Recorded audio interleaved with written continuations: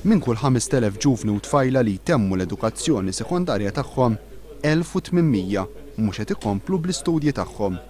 Il-Kelliem Ewlieni Laburista għall-Edukazzjoni Evarist Bartolo qal li mill-eżami tas-SEC tal-Malti m'għaddewx 43 fil-mija, mill-Ingliż m'għaddewx 40 fil-mija, filwaqt li mill-matematika m'għaddewx 46 fil-mija.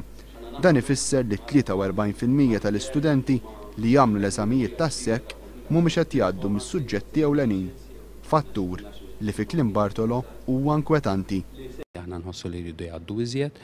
Jidhrilna wkoll li fil-kurrikulu l-ġdid li qed jiġi mfassal trid tingħata ħafna iżjed importanza ta' kif se ngħallmu l-Ingliż u l-Malti b'suċċess għaliex proprju fuq is-suċċess tal-kisba tal-ħiliet tal-Malti u l-Ingliż jirnexxi mbagħad l-istudent jew l-istudentessa fl-edukazzjoni tagħha u nħossu li fil-kurrikulu l-ġdid dan għadu mhux indirizzat tajjeb biżżejjed.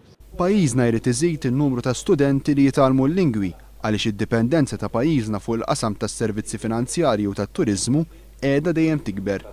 Evarist Bartolo rrimarka kif hemm bżonn li ż-żgħażagħ li qed jgħixu f'riskju ta' faqar jingħataw l-għodda u l-għajnuna biex ma jitħallewx jaqgħu lura fl-edukazzjoni tagħhom.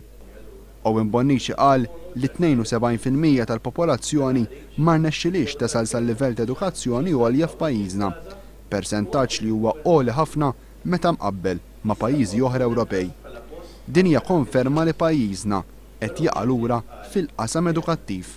Il-Gvern għandu rapporti kkummissjonati minnhom stess, minnu stess, illi jgħidu li fil-qasam tal-edukazzjoni għolja hemm ħafna u ħafna iktar x'irid isir. Iċ-ċifri biss ma jsolvux il-problemi, li noqogħdu ngħidu iċ-ċifri jagħmlu d-differenza mhux biżżejjed.